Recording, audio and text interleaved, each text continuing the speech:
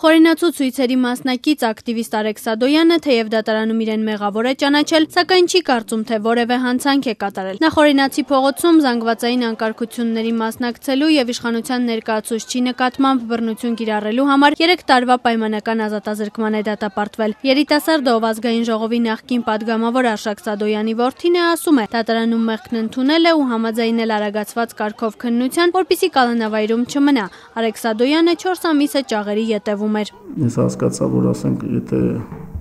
ասենք շարունակվի, ես կարող ասենք, չգիտեմ, մի տարի կամ երկու տարի, չգիտեմ, ուղակի գտնվեմ կանանավայրում, տենց որովհետև մեր պրակտիկայում էդի շատ ընդունված է, որ անընդհատ հետաձգում են ամիսներով, մարդիկ նույնիսկ տարիներով նստած են ինձ հիմա կանանատանը։ Հա դատվածությունը որ կա, իհարկե բացասական երևույթ է, ինքա որ դատվածություն կա։ Դա իհարկե շատ միգուցե վատ կանրադառնա ուղղակի դի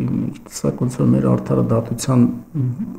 այդ բաց թողումների մեջ այլ մտնում որ ասենք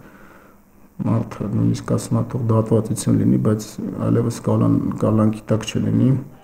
Սադոյանն ըստ մեղադրանքի բարեկապահակային ծառայության գունդը գրավելու օրերին Խորենացի փողոցում մասնակցել էր զանգվածային անկարգությունների, ոտքով հարվածել ոստիկաններին, փորձել խլել նրանցից մեկի վահանը։ Սադոյանը սակայն պնդում է 46 տուժած ոստիկաններից եւ ոչ մեկի հետ առերեսում չի եղել։ Ոստիկաններն իրեն չեն ճանաչել որպես ապացույց ներկայացված տեսանյութում էլ ինքը չէ։ Վահան էս քաշել, ասի ապետ վահան քաշել է,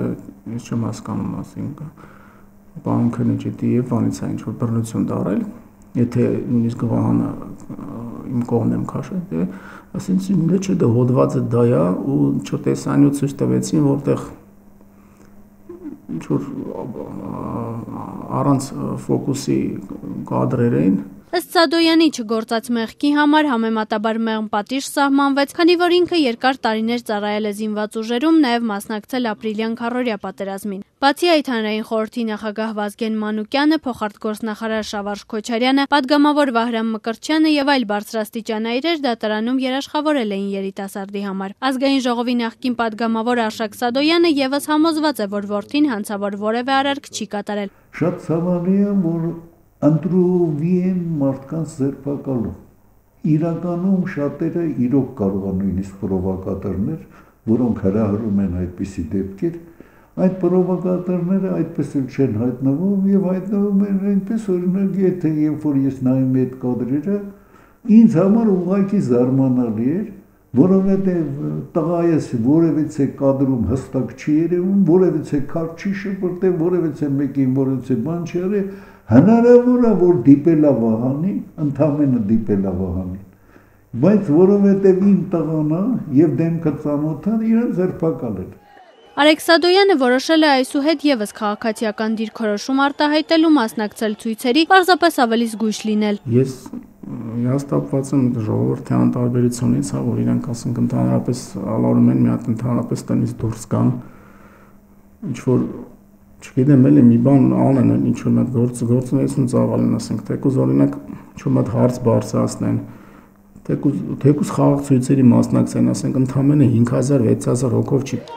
Հիշեցնենք հուլիսի 20-ի զանգվածային անկարգությունների գործով տասնյակ քաղաքացիներ են անցնում, այդ թվում ոստիկանության գունդը գրաված Արայիկ Խանդոյանի եղբայրը Արարատ Խանդոյանը։ Այս պահի դրությամբ Արեգ Սադոյանից բացի վճիռ է հրապարակվել նաև Ռաֆայել Կարագյոզյանի մասով, ով եւս ընդունել է մեղքը եւ դատապարտվել 3 տարի պայմանական ազատազրկման։ Հուլիսի 20-ի բախումից հետո շուրջ 45 տուժած էր հիվանդանոց տեղափոխվել։